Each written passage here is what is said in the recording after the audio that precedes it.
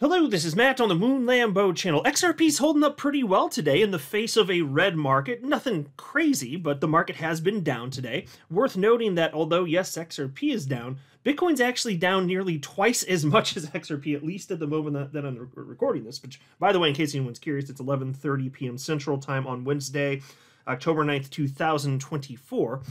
And um, there's an on-chain analytics firm that says XRP is actually among uh, the, the top cryptos in a particular list that has the best chance of rising in price. And the reason that they cite actually might sound counterintuitive on the surface, but it makes all the sense in the world, and there's historic precedent to back the claim that the on chain analytics firm is making. And so there is, there, I mean, I'm just to let you know at the outset, not to scare anybody, there are warnings that uh, we could see the market dip at least a bit further. Uh, but you know, even the analysts that I'm seeing that from, even when they're talking about Bitcoin, which of course leads the market, uh, all of them have the expectation that we are going to see higher numbers. As in Bitcoin ultimately, this market cycle hitting a new all-time high, entering price discovery, and of course, alts will follow at that point. And I do think we'll see breadth open up uh, in the Russell 2000 as well. But before going further, I do want to be clear I do not have a financial background of any kind. I am not offering financial advice. And you definitely should not buy or sell anything because of anything I say or write. I'm just an enthusiast who enjoys making YouTube videos about crypto related topics, but just as a hobby and just for fun. All right, so XRP as I record this is at 52 cents, Bitcoin at 60,904 bucks. Not surprisingly, since the market's a little down, uh, Crypto Fear and Greed Index is back in fear. We're at 39 out of 100. Uh, you know, typical lemming retail speculator flying by to see their pants. And I'm telling you, there's such a large quantity of humans that make important financial decisions based on emotionally how they feel, which in the world of crypto, the most volatile asset class in the entire damn planet, it's gonna whipsaw you back and forth consistently for years on end. I just can't imagine living like this, which is why I, I love my strategy, which I think is the best. Uh, it's just you buy stuff and then you wait, and that's that. You don't get in out of in and out of positions. You don't sell something to because you to, to, go chase something else. You just you know if you're me anyway. I'm not. You do whatever you want. I'm not telling you what to do. But uh, if you're me anyway, you just you just hold. You just wait for years on end if that's what it takes, and let time do the heavy lifting. Because if you have a broad broad exposure to the asset class, your portfolio will be gigantic if you're just sufficiently patient, like a proper adult should be. But take a look at this, man. I'm telling you, dude if we're going to have a proper alt season, which I'm confident is most probable, my God, XRP is going to participate and it is going to shock so many people that have just been crapping all over it because it hasn't been performing and it didn't hit a new all time high last cycle. Yeah, as if the SEC didn't have something to do with that. But still, here's a post from on chain analytics firm Santiment, and they wrote Chainlink, Ethereum, Bitcoin, Solana, and XRP are the assets the crowd has turned the most negative on during this mild crypto slump. Coins with the most bearish crowd narratives historically have the best chance of rising. Here are the 20 best candidates. So I'm not going to read all 20 on the screen. XRP is number five. So it has, it's among the top five that have the worst sentiment and narrative wise in the world of crypto. Now, that doesn't mean that it actually has poor opportunity. In fact, when people feel so broken uh, about the performance of a particular particular asset. That's the sentiment that you typically see before there's a notable rebound and this happening at a time where many are arguing that altcoins are starting to break out here and fine maybe there's one more dip to the downside or who knows what. Uh, either either way i'm just saying that that's the type of sentiment you should expect to see before it goes. That's why Santiment is saying what they're saying. So on the surface, it's like, oh, it's negative. And if you're brand new to investing, you might think, oh, it's negative. That's scary. Maybe it's just going to keep going that direction. But no, no, no. Eventually, you run out of the lettuce hands. The people with no conviction, the people who whimsically will get in and out of positions, eventually you run out of those people and there's no one left to sell. You know, unless you get a black swan event or something like that, and then you can scare some more people, fine. Because there's varying degrees of emotional fortitude when it comes to investing in the world of crypto. But this is, it's kind of close to that. That's why they're saying what they're saying, very obviously. So, one more thing to consider, but my God, even in the face of what's been happening today, after that terrible news about uh, Ripple getting sued, uh, or, or, not sued, but the uh, you know the, the SEC uh, pushing forward with that appeal, uh, uh, the market doesn't give a damn. Like the market just straight up doesn't care. That news broke like it, XRP went down like inside of an hour and a half, five percent. Then the precipitous drop stopped after 90 minutes, folks. That's insane. That's better than I had hoped. And then it just moved sideways for much of the next like week. like I'll take that. I will absolutely take that. That's as far as I'm concerned, that's a win. And that's why you see all of these chart analysts saying, "Yeah, XRP, it's been impressive. It hasn't even broken out of the structure that it was in prior to that scary sounding news. The market doesn't care." Which is why I keep saying, if you think that XRP will not perform this market cycle because of that news, you are wrong. If XRP doesn't perform, then it is not for that reason. And then we'll have to have our come to Jesus moment and talk. But as long as there's a proper alt season, I think it's completely absurd to think that XRP is not going to participate. Here's a post from chart analyst Crypto Insight UK highlighting a couple XRP pairs here and XRP dominance. And looking pretty good here on the short term. It just shows the resiliency, and I, I really enjoy highlighting this because I look, I know he's kind of highlighting short term action, but that's exciting because again, what just happened a week ago? It was supposed to be something that's devastating. There were people screaming at me that see XRP's going to miss another bull run. Uh, nope, you were wrong. And I predicted that in the weeks leading up to this that enough people are aware that XRP has legal clarity. It's not going to change anything. You may have noticed that no exchanges are delisting XRP because that literally would make no sense. And also because, and most people uh, know this now, but even the SEC isn't challenging the legal status of XRP or the ability of XRP to be bought and sold on secondary markets. They're not doing that. They're challenging Ripple's transaction. That's it.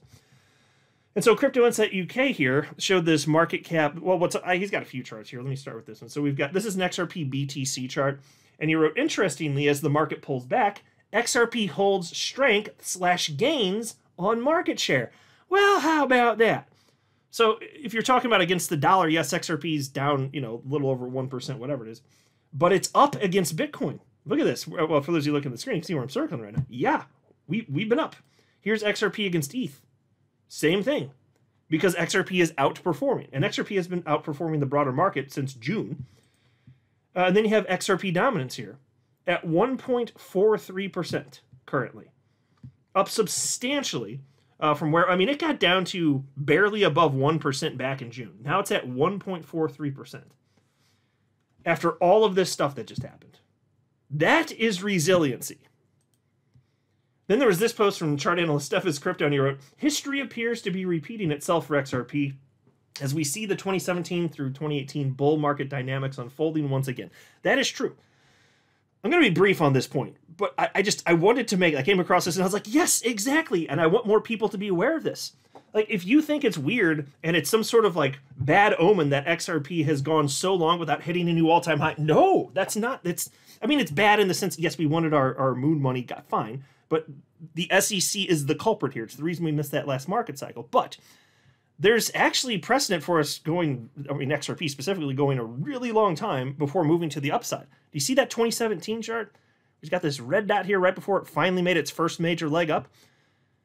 That was after about five years of existing. It was it took close to five years for for XRP to actually find uh, well, if especially in particular if you're talking about when it actually hit its peak, the all-time high, it, it took almost five years so the fact that we're at seven years, and then you you factor in that there's only an opportunity for XRP to hit an all-time high at four-year intervals because it's based on global liquidity, and so there's only an opportunity for that uh, every single four every four years, and then we missed the last one. It's not surprising it's been seven years, but to think then that when the market goes, XRP is not going to perform, you're going to be shocked by the time this market cycle is over.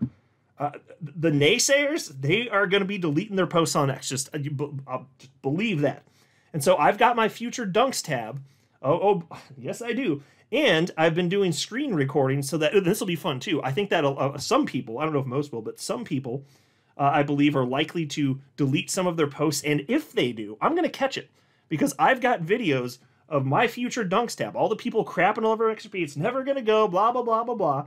And uh, I'm going to compare. I'm, I've, I have the posts. They are record, recorded. I've got them. If they delete them, it doesn't matter. The internet is forever and I'm going to highlight this. I'm just saying. Um, so anyway, the fact that we've been waiting seven years, almost seven years anyway, uh, not it, that fact in and of itself doesn't mean that XRP isn't going to go. That's completely ridiculous. There's this post from chart analyst uh, Charting Guy, and uh, of course, since crypto is correlated to the stock market, I want to highlight this.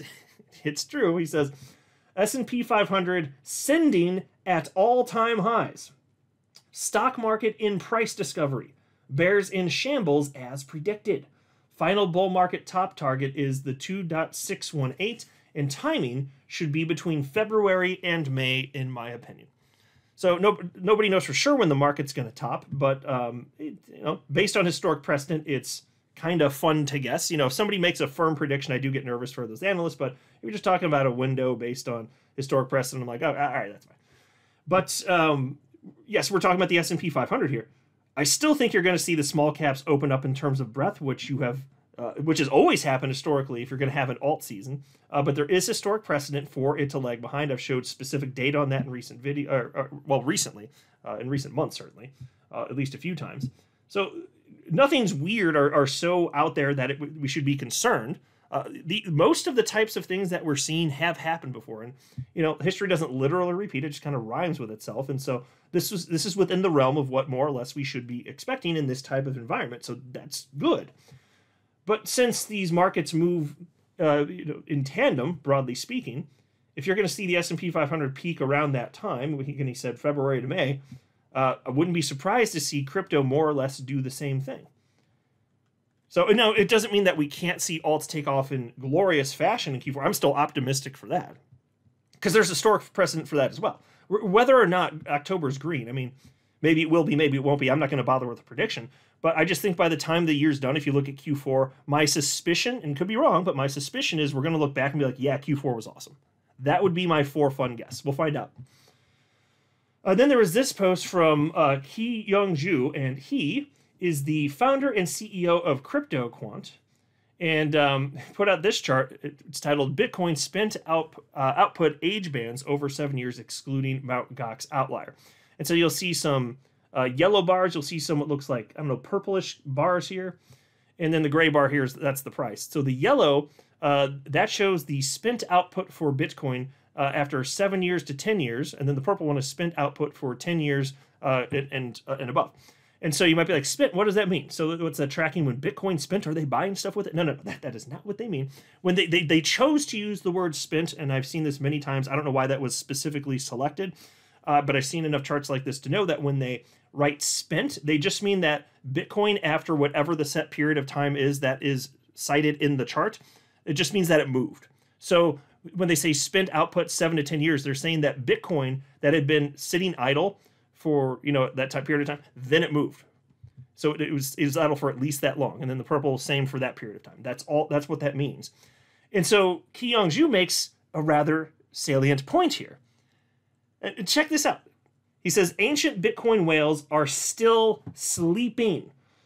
Moving Bitcoins dormant for seven plus years has historically triggered market volatility depending on source and destination, Mt. Gox excluded in this chart.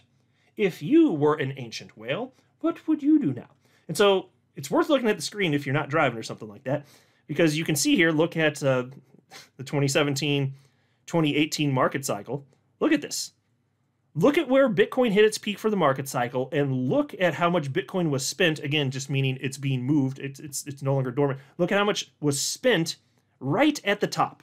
Look at what the whales did. Then look at last market cycle. Look at what happened here. When do they wake up? You know, there have been other times where there's kind of some notable jumps to the upside, but in particular, when you have uh, the cycle tops, there that's when they really shine, right? Then look at where we are right now. Look through look for all of 2023 and 2024. Well, specifically 2024. N- almost nothing. Whales haven't done a damn thing. So is this the first cycle? So if it's all over, we're going into bear territory. You're telling me that the whales for the first time in history got wrong-footed? I don't buy it. And so he had this post from uh, chart analyst Dr. Magic. He reposted what I just showed you, and he wrote the following: "Worst profit taking for old whales ever." And then he sarcastically says the following I like this. You shrimps finally did it! You outsmarted them and you dumped your bags on their head at the Pico top. Or did you? Uh, no, you did not. In all probability, you didn't. You didn't outsmart the whales. You didn't outperform them. Nothing of the sort. We just haven't had the euphoric top for this cycle yet. That's my guess, anyway. You guys are entitled to your opinion. Um, I suspect that most of you are probably going to agree with that it's pretty clear what Ki Young Ju was point was getting at when he posted this. Like, come on, guys. Um, there's also this post. Somebody named Crypto Panther wrote to chart analyst Credible Crypto and said, Cred, do you think we will bounce? He's talking about Bitcoin here. Do you think we will bounce from 58 to 59,000 and have some relief, or we will follow green path to all uh, to end high? Uh, he wrote it sloppily. Uh, high 40,000. So he's asking, okay, are we gonna have a bounce here if we get down to 58 to 59,000 dollars? Uh, or do we just straight up go all the way down to the upper 40,000s? And I'll note, and I highlighted this in the recent video, Credible Crypto, and he's uh, one of the only analysts predicting this, he does think that it's reasonably probable, though not certain, that we will see Bitcoin price re-enter the upper 40,000s. Not a guarantee. And most analysts don't think that's going to occur. And I, am not going to even predict that, but I don't know. I don't know if he's right or wrong. But man, his hit rate on short-term price action, I just he's the best that I'm aware of. So it doesn't mean he's right for sure, but uh, I'm paying attention to what he's saying. And so, anyway, he answered that. He wrote, Right, so this is the big question. Based on everything I am seeing, I think a bounce from fifty-eight to $59,000 for one more push up, still under $70,000, would make a ton of sense, and this would give us the perfect chance to position across the board, too. That being said, it doesn't have to happen, of course, but it's the ideal scenario before the larger drop I'm expecting. And so, to be clear here, he does still think that you're going to see Bitcoin in the upper 40,000s, probably, though not certain, uh, before we see a continuation to the upside. But he does firmly believe this market cycle, you'll see uh, Bitcoin at six figures. He does believe you'll see XRP over $10. He thinks $10 is pretty conservative. I've seen enough from him to know that. None of that has changed. So I'm just sharing with you perspective from reputable analysts who have a good track record here, and that's what he's warning about. Although for him, it's just opportunity because even though most of what he holds, he's publicly stated, you know, he hodls, he, he's also a trader. And he seems to be doing well at it, but trading's not for most people. Like, I personally have no interest. I don't even want to try it. I don't care. Uh, I, I just, no, no, no. It's just, it's a, it's a time vampire. If you want to actually do it, it's just a time vampire. There's a lot of other stuff you can do with your life. And I'm already going to get uh, if I'm right about crypto, I'm already going to get the life changing wealth from crypto. I don't need to get the extra X percent with the trading, even if I'm good at it. If like say I were good at, it, I don't even know if I'd be good at it. But even if so, I just don't care. I don't want to do it. I don't. I don't need the extra stress and, and, and the extra workload doing that stuff for a tiny percentage of my portfolio. I'm just not going to do it. And to all the people that have success, uh, good and uh, I'm proud of you. Like seriously though, like I think that's fantastic for those that are good. But just know that somewhere between 90 to 95 percent of traders lose money. Almost all of them do, and the ones that do eke out a profit, for most of them, it, it's not even necessarily like worth the while. For some, it is. You know, incredible crypto to his credit, he seems to be doing well anyway. Um, but then there's also this post. This is from Charting Guy, and he respectfully disagrees with Credible Crypto. He said, "No offense to Cred, I like him a lot." Just a low probability currently, in my opinion. Is it possible? Yes, anything is. Is it likely? In my opinion, no. But that's what we're all here to do present our opinions and try to make money. And so we'll see who's right. Credible Crypto says it's probable that we're going to see Bitcoin in the 40,000s again before move to the upside. And Charting Guy says, yeah, it could happen, low probability, doesn't think it's likely. So we'll see. And again, uh, charting guy holds a majority opinion, credible crypto holds a minority opinion. Uh, doesn't mean either of them is right or wrong. I'm just presenting some information because I find it fascinating. Especially, again, I'll say it one more time credible crypto has a great hit rate on short term uh, price action. So we'll find out together. Uh, then charting guy also wrote this referencing Bitcoin 58,000 to 61,000 is the sweet spot. So he thinks we we could go down uh, roughly to that level, which, by the way, again, is that's pretty much what Credible Crypto said too before getting some relief. Uh, then there's also this. This is from Chart Analyst Blunts, and he, and he shared a couple charts here. Uh, and it, uh, without going in, in depth here, just a key takeaway here is he does think that we could go lower. One of the possibilities is you know we go down to about fifty eight thousand dollars. He thinks we could go maybe a little bit lower, maybe into the mid fifty thousand uh, dollars. But ultimately, even if that happens, he he would agree with every other analyst out there that says yes, but then you move to the upside and he's charting here above, you know, $84,000 for Bitcoin. Uh, then there was this post from chart analyst Dom. He said, Bitcoin, Coinbase sellers were not to be faded at $64,000. Now they are buying. Scary spot overall, but 60 to $61,000 should produce a bounce. Let's see if they are right. Okay, so he's not citing the same level of $58,000, but roughly where we are now, he thinks that it's low enough that we'd, we'd get a bounce. So whether he's right as, as to where the local bottom would be, or someone like Credible Crypto or Charting Guy that says maybe more like 58,000. Either way, uh, many analysts here agree that we're probably going to get, at a minimum, some short term relief. Uh, and then we also had this from chart analyst Crypto Michael. And he wrote, uh, because actually, let me show you this one first. So, um, and I may have shared this in a previous video. This is from October 7th. He shared this Bitcoin chart where he was warning, hey, uh, looks like Bitcoin could go down to maybe closer to sixty to $61,000. That's what the chart was indicating anyway. He simply wrote Bitcoin. And then he had this update where he reposted that and said Bitcoin short target hit. Thanks for playing. So that is what he saw in the charts. That's what he thought was probable. Um, now that doesn't change on a higher time frame, long term, what happens uh, for the rest of this you know this market cycle. Um, but but all that to say, that's why I wanted to I like to highlight this stuff because you know if you treat each chart analyst as as an individual data point, and if you follow reputable chart analysts who no none of them are perfect, but if they have reputable enough records and then you can just kind of see what's the group wisdom if you're tracking the right people. And what I find is if there's a notable amount of them that think something's going to happen, usually they are correct, at least with the, the sample of chart analysts that I follow. Um, and sometimes they're not because sometimes the improbable happens, but most of the time, yeah. If, if most of them, if most of them think something's going to happen, then most of the time they are correct. That's what I'm saying. So that's why it's interesting and useful to follow them. And so I've been tracking a lot of these analysts uh, some of them for literally over half a decade at this point, uh, most of them less than that. Uh, but you know, you just come across new talented individuals over time. But uh, so take it for what it's worth. Nobody, nobody knows for sure. You know, even the best chart analyst the, in the world doesn't know. But my God, the opportunity ahead. This is such an exciting time to be an XRP holder and to be in crypto. I'm not a financial advisor. You should not buy or sell anything because of anything I say or write. That would be a very, very, very bad idea. Until next time, to the moon, Lambo.